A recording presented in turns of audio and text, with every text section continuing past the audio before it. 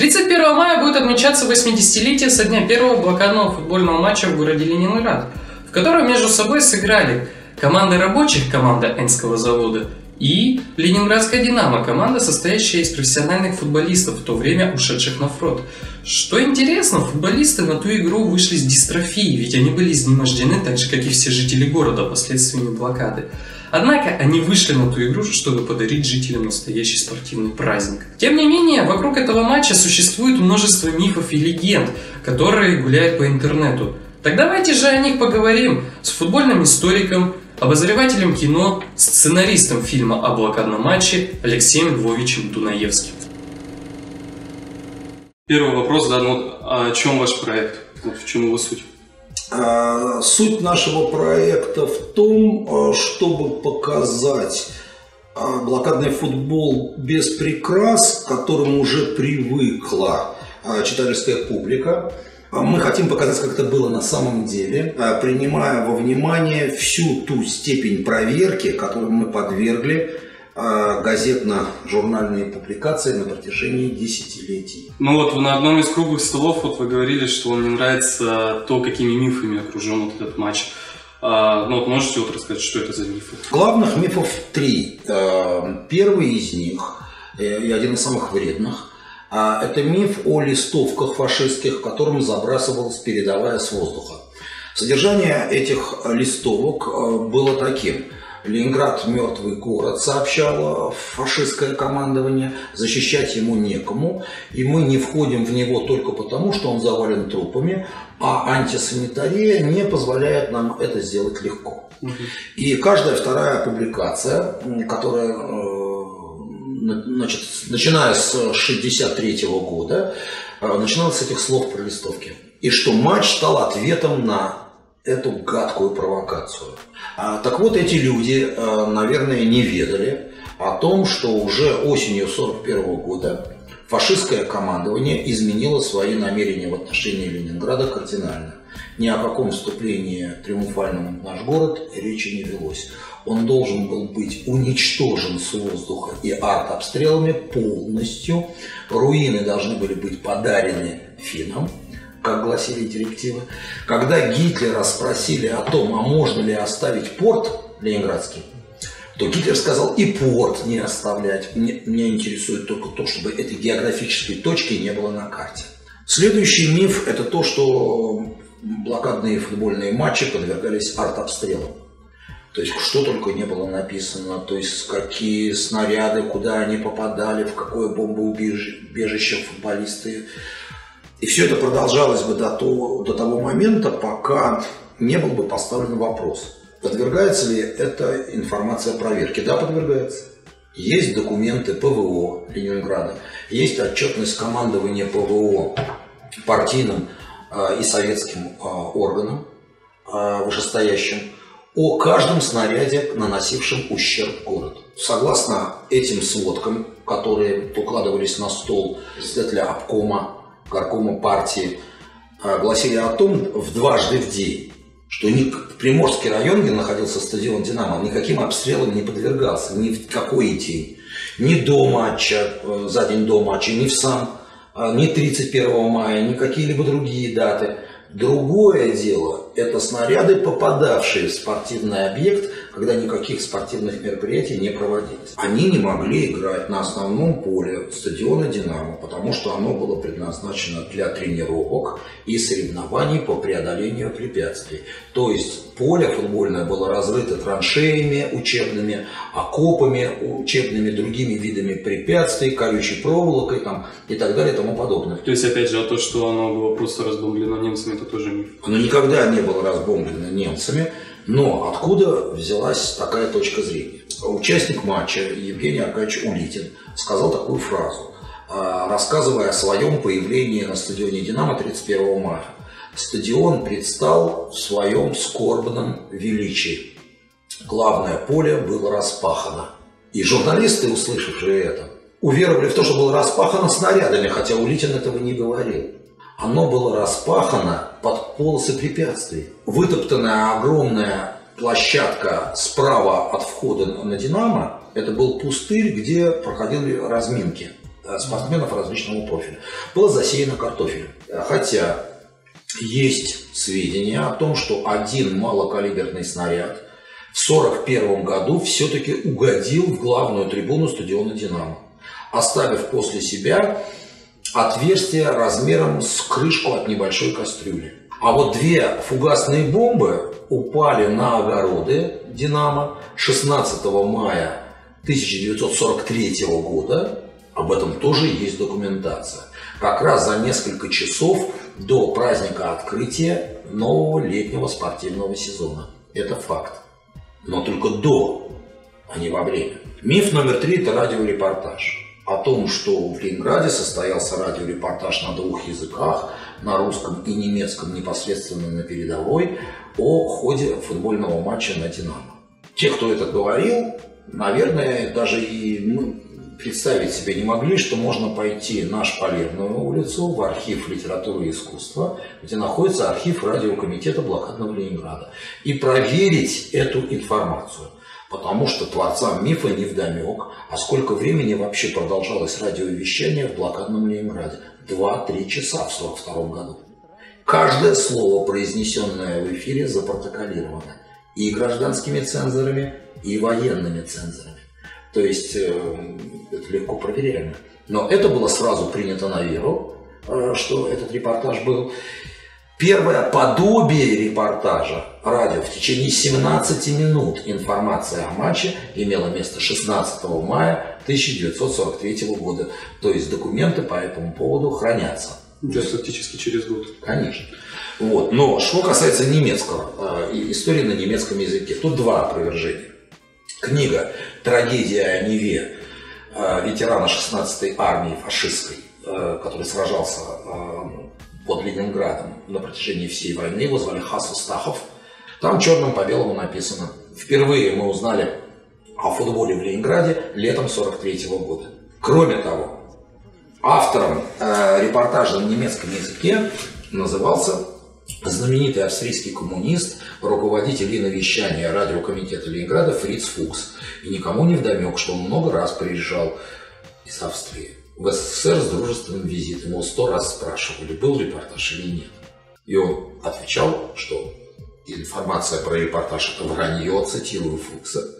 Вот, я дал коротенькое информационное сообщение на немецком языке через много дней после проведения первого блокадного матча. Но тем не менее, сколько статей написано про это, то есть какие только драматических подробностей нет, связанных с радиорепортажем. Увековечен он на кинопленке в фильме «Удар, еще удар» и так далее. Сколько будет это продолжаться, я не понимаю. Поэтому э, вот в этой книге э, рассказывается все, как было, на самом деле, что подтверждается документами, газетами военного времени, другими источниками. Существует же миф, что первый матч вот сыграли 6 мая, да, вот с моряками, но вот вы активно это проверяете. Это совсем грубо сколоченная э, информация, давайте мягко скажем. Родилась она в результате грубейшей ошибки, допущенной московским военноиздатом в 1960 году, когда была выпущена книга «Подвиг Ленинграда», сборник. Одной из частей этого сборника был дневник знаменитого ленинградского сыщика, милиционера Виктора Павловича Бычкова, который до войны очень активно э, занимался спортом и футболом в частности. Страницы его дневника описывают матч номер три блокадной серии, состоявшийся 21 июня 1942 года. Так вот, эта страница его дневника в книге датирована 6 мая 1942 года. Понятно, что 6 мая, 6 мая не могли произойти описываемые в дневнике события, потому что это совсем другой матч описывается. Но слово «не воробей», как говорится, вылетело не поймаешь. И 6 мая стало тиражироваться. Через три года новая публикация в журнале «Физкультура и спорт» и 6 мая называется большой текст про Виктора Павловича Бычкова, который подхватывается Ленинградской правдой, и начинается вот эта серия. Один из участников этой серии, самый активный, московский журналист Александр Технадзе, написал огромную публикацию в советском спорте и пообещал а, читателям, что он обязательно найдет команду соперницу «Динамо», потому что ни в одной публикации она не была названа. И вот он с триумфом возвещает значит, в своей книге «Тот длинный тайм», которая вышла в 69 году, книга, о том, что это была команда Балтийского флотского экипажа под командованием майора Андрея Кузьмича Лобанова.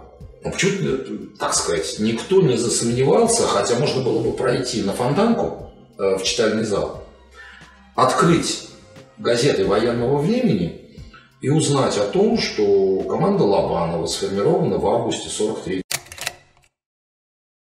все-таки вот история о том, что приходилось вот взаимодействовать, ну, в том числе героем вашего фильма, который вы рассказываете, с военным советом, да, для того, чтобы возвращать футболистов с фронта, это все-таки правда? Это правда. Одно из свидетельств, очень серьезных, свидетельство Набатова-старшего, говорит о том, что 29 апреля 42 года в поселке Лебяжье, а куда он был вызван из своей воинской части, его встретил э, подполковник представитель политотдела а, военного совета Ленинградского фронта и объявил ему о том, что дальше он уже не возвращается в свою часть, а отправляется в Ленинград, где уже сформирована, формируется команда «Динамо», команда мастеров для участия в образцово-показательном матче. Кого-то удалось отозвать, но кого-то не удалось отозвать. В частности, Евгения Архангельского не отпустили. Он служил в разведке и был очень успешен а, как а, разведчик, отправлявшийся в тыл врага. А, не удалось отозвать Дмитрия Федорова из военного училища. Улитин, участник матча, получил сообщение о матче и о том, что его отзывают в день матча. Ночь на 31 мая сел на какие-то попутки, на какие-то грузовики. Слава богу, довезли до Дворцовой площади, откуда он пешком отправился на «Динамо» и успел. Поэтому команду формировали э, кем придется. Мастерами, которые были вместе с Валентином Федоровым в угрозыске, и простыми милиционерами тоже. А какой вот интерес был для советского руководства проводить вот такой вот матч? Вот, ну, сейчас современному человеку покажется это как-то странным, с учетом того, что Ленинградский фронт он был одним из самых ну, напряженных и тяжелых. В литературе э, решение о проведении матча трактуется так, я принимаю эту трактовку, что начальство думало не про футбол. Оно сначала думало о гораздо более важной вещи. Она думала об очистке города. Ведь на город в связи с потеплением, в связи с приближением весны приближалась эпидемия.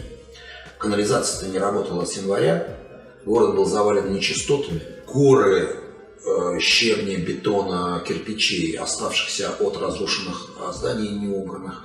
И самое главное – это трупы. Огромное количество трупов находилось под снегом, находилось на чердаках, квартирах людей, которые обезлюдили. А также, ну, даже такие были случаи, что многие люди не сообщали в Дом управы а, о смерти, чтобы получать а, паек. Представьте себе, да, обстановочка.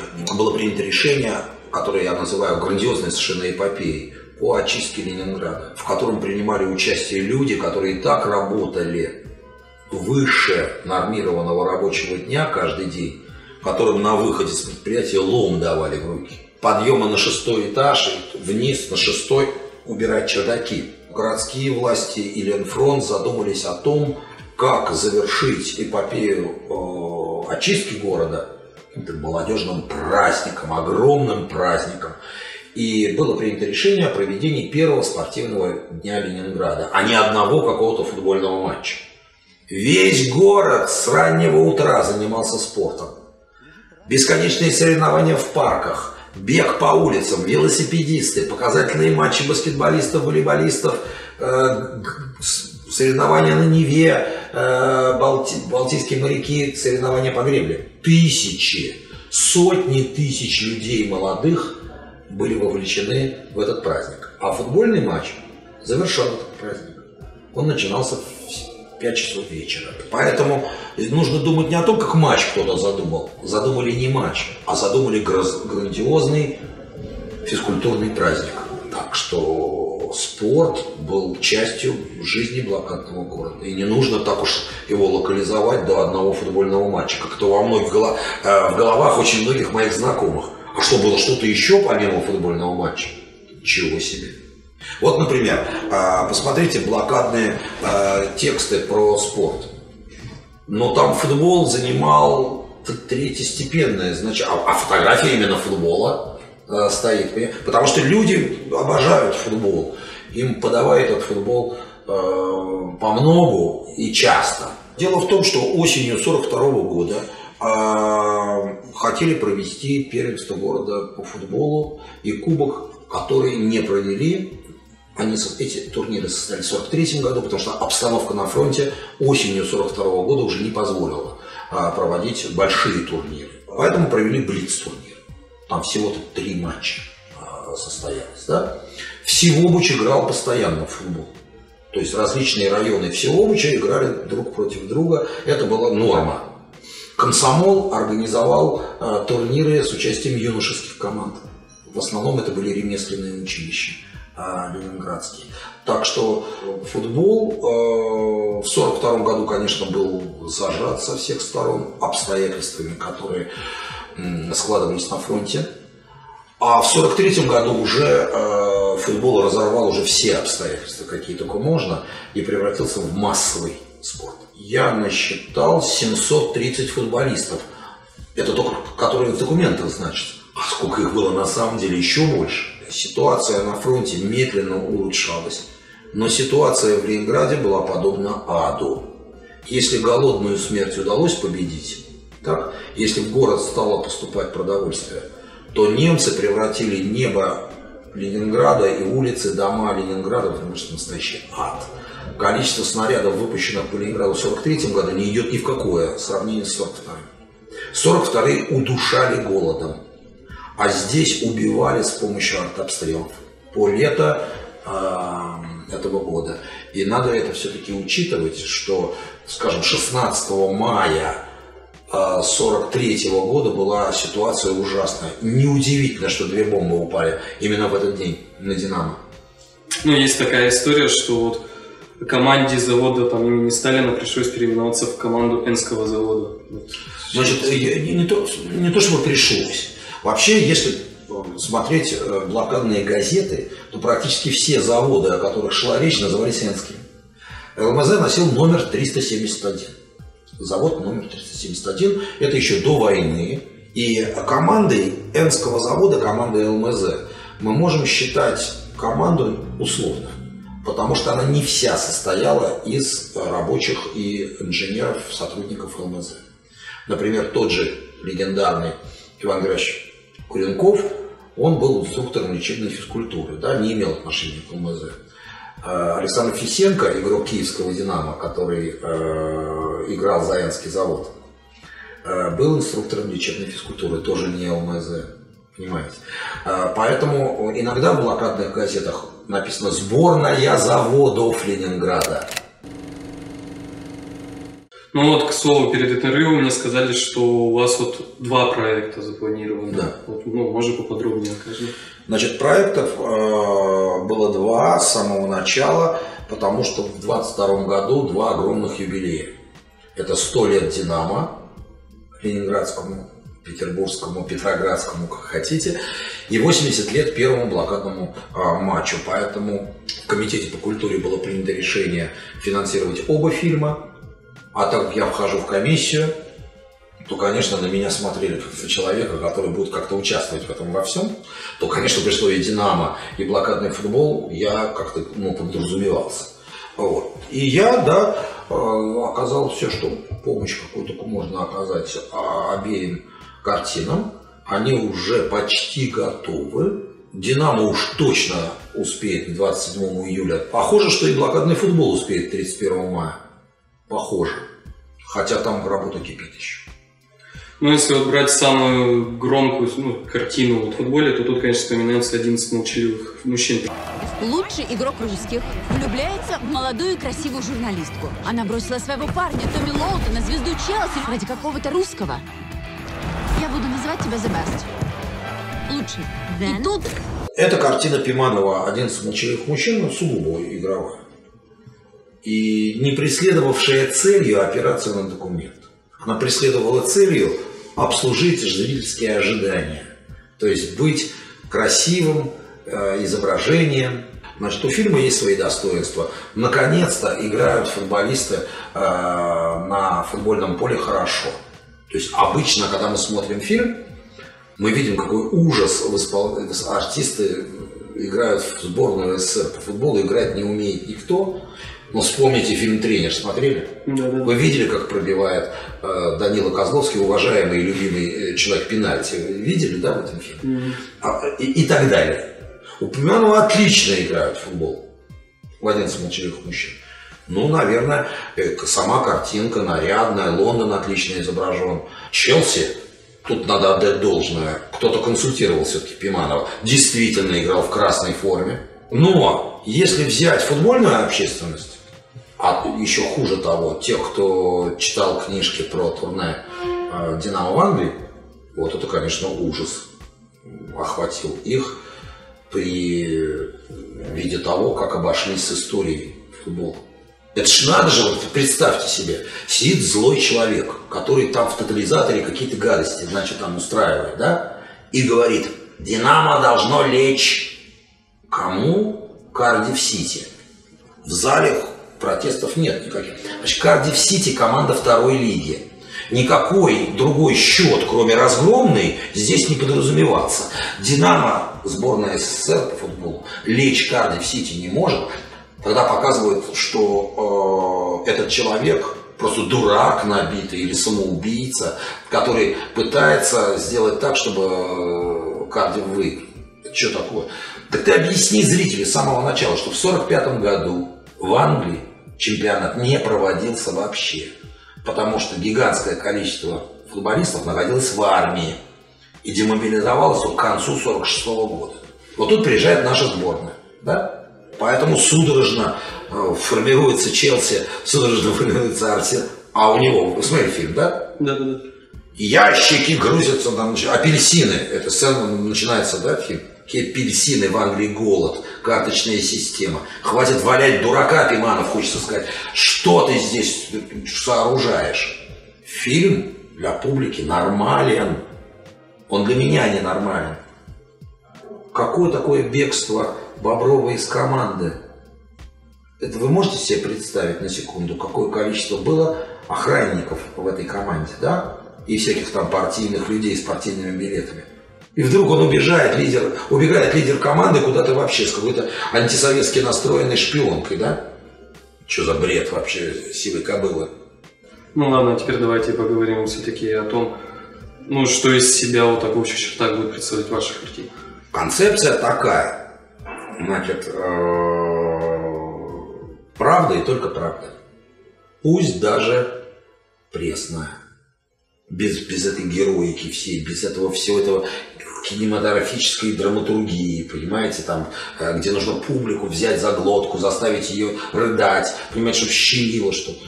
Но я утверждал и буду утверждать, что реальная история в сто раз интереснее вымышленной. Понимаете, в чем дело? Поэтому уделим внимание строгое костюмам. Уделим внимание блокадным всевозможным деталям да, не позволим фальше прорваться в кадр. Э, очень сложно в Ленинграде сейчас найти заброшенный стадион, похожий на «Динамо».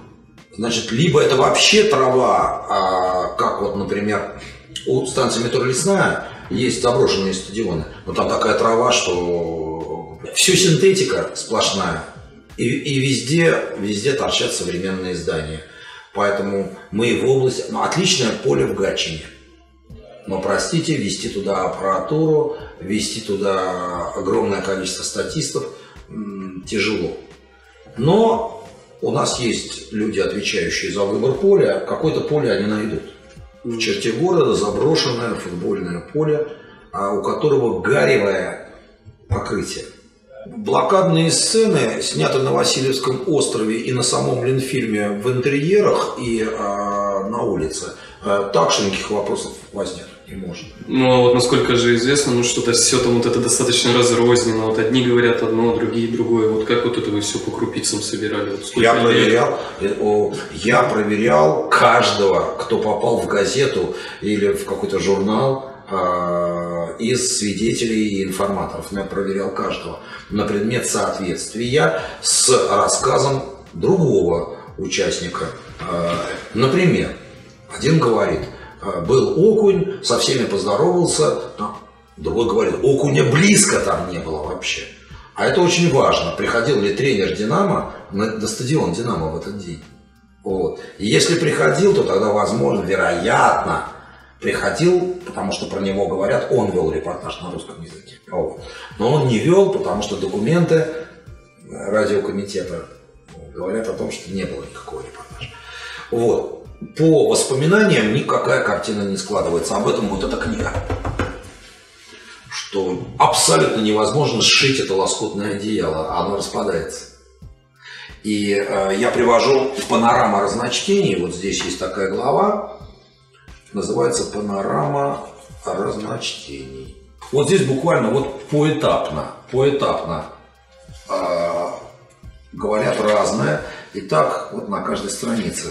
Тогда я сказал, что я перехожу от вопросов, я перехожу вот к этой книге, к системному изложению, как это было, с помощью доказательной базы с помощью подтверждений документов на худой конец газет. Ну, а тогда вот поговорить по поводу дореволюционного футбола, там вот вы конкретно рассматриваете, вот как возник он в России, получается?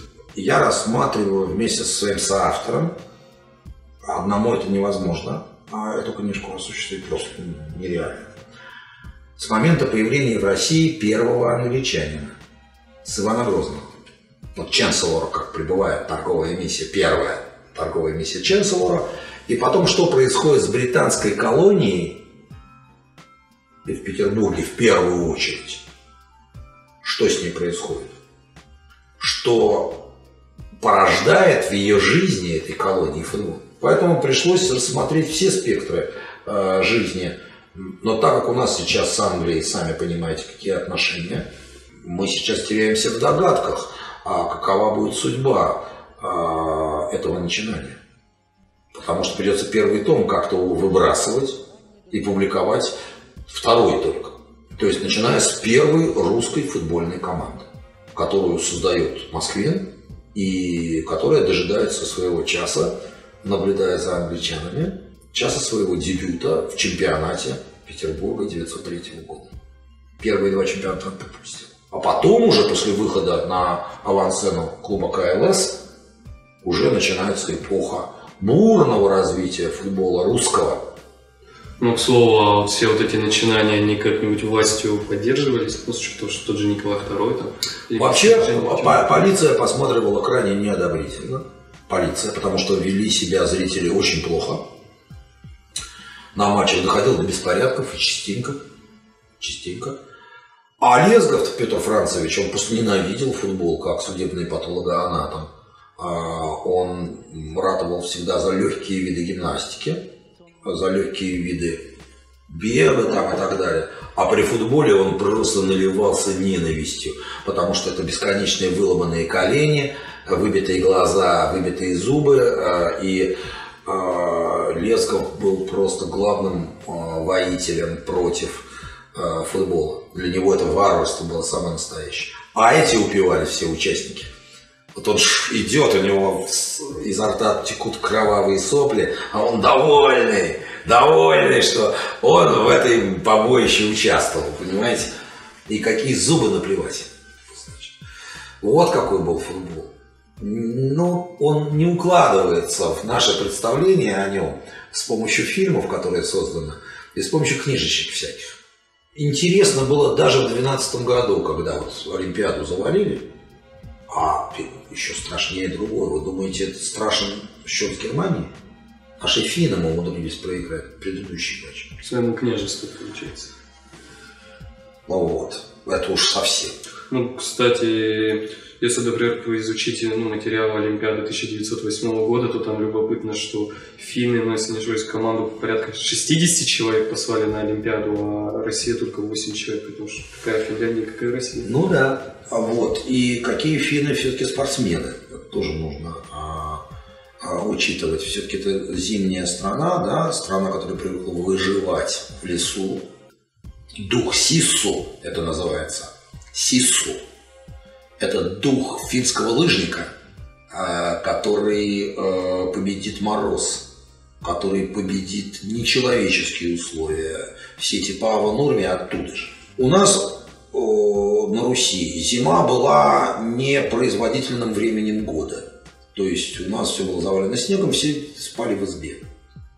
Фин работал в поте лица своего всю зиму. Тут масса всего, я вам хочу сказать, масса всего настолько, что один человек не справится. Мы работаем с Петром вдвоем, хотя в советское время это был бы коллектив авторов. Но я думаю, мы справимся.